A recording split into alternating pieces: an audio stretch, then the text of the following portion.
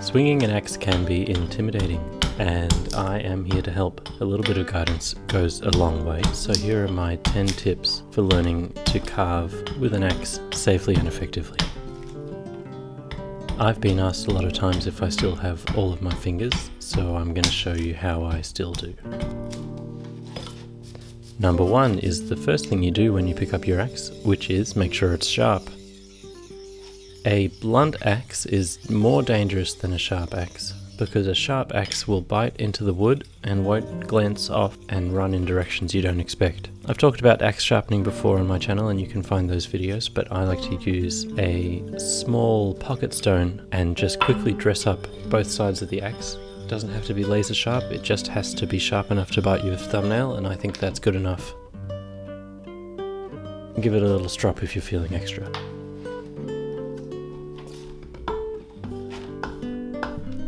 Number two, if you want to chop a surface that's flat, square and true, one of the most important things is actually how you stand. So first of all, clear your space of any obstructions that you might trip on, and then put your left foot forward if you're right-handed, your right foot back, and bend from the hips like this. Number three, a lot of people are a bit afraid of their axe so they hold it with a death grip.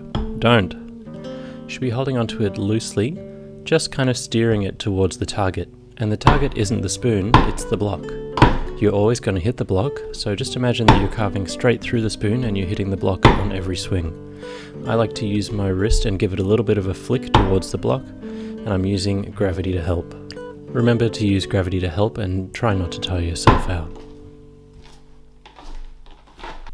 Number 4.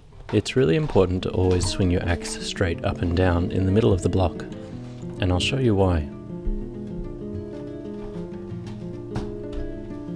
Right, so here I want to make a high angle chop to break up the grain of the billet, and I'm going to keep swinging my axe straight up and down, and to achieve the angle I'm going to angle the wood instead of the axe. Now this is important because if I miss the billet, I'm going to go straight past it and hit the block. So if I'm axing stra straight up and down, that's no problem.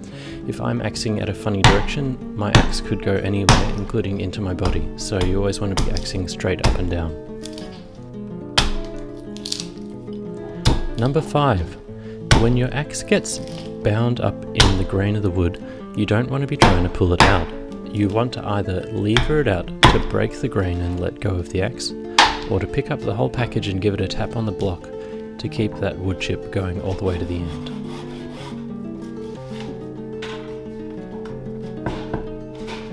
Here what I'm doing is always chopping in just about the same spot and that's going to help my axe to slide into the chip that I've already made and sort of smoothly chase it down the billet all the way to the desired goal. And as you can see, I'm always twisting and breaking the grain out of the way as I go.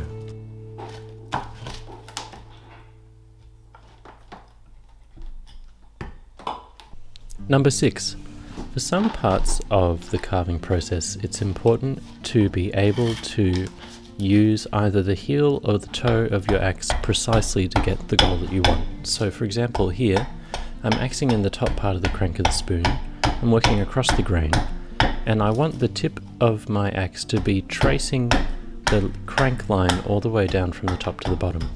So you can see I'm using the curved bit of the axe to sort of sweep the tip straight down that bottom area so that I end up with two planes that meet each other evenly. Number 7. Axing is much easier if instead of trying to swing it really hard, you keep up a rhythm and you try and get a bit of a flow going where you're consistently chopping the same spot, your axe is always on target, and if you don't miss, then you'll find things get much easier for you when you sort of keep up a regular motion.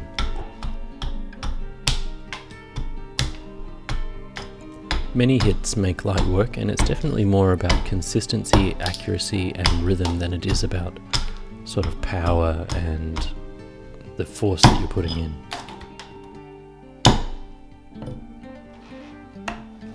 Number 8. Now this one is an extension of the point about chopping straight up and down. We're going to, um, to specify that down to working around a curve here. So I'm using the scallop in my block to support the shoulder of the spoon and as I'm chopping straight up and down, always in the same place, I move the hand that's holding the spoon back and forth to create a different angle for each chop, which is going to get me that curved surface that I'm looking for. What I'm doing here on the back of the bowl is the exact same principle, moving my hand up and down and keeping a consistent chopping motion, chopping rhythm with the axe. That's going to allow me to cut a nice curved surface in an efficient way with as few strokes as possible.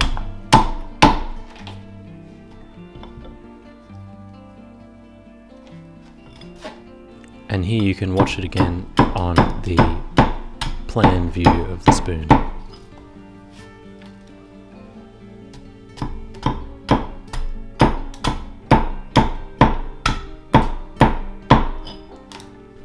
Number 9 is something I do all the time, which is when I don't feel like going to get my carving knife, I like to use a guillotine cut to clean up the lines of my blanks.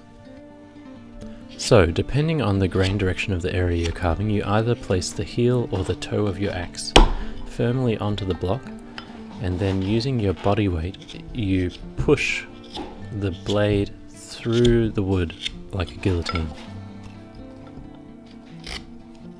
It's helpful to have an axe that has a good beard on it because that allows you to get your fingers right up under the bit and I like to put my index finger onto the bit to sort of stabilize it and help control that direction.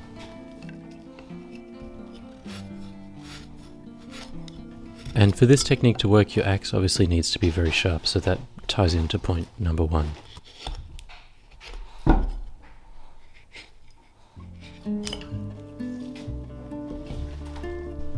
Number 10, confidence.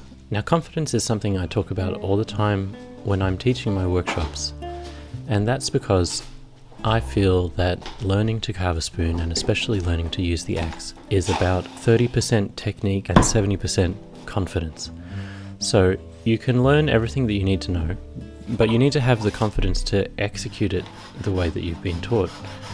So, what I think that people should do when they're learning to carve is to, first of all, stay within your comfort zone when you're just learning. Don't get too daring, don't try to be a hero with the axe, but just sort of take, take baby steps and, and make sure you're carving safely.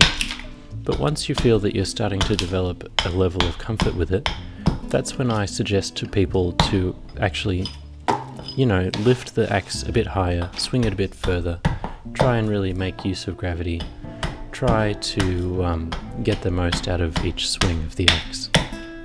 And that is when people really start to click with the technique. They're not sort of fighting against the axe anymore, but they're starting to feel that real sort of extension of your hand analogy that a lot of woodworkers use when they're talking about their favorite tools. So if you've made it this far, thanks for watching, and for the rest of the video, feel free to stick around because I'm going to show you the whole process of carving this spoon blank with the axe and if you pay attention you should notice just about every one of these 10 tips that I've given you are embedded into my process. Thanks for watching and happy carving.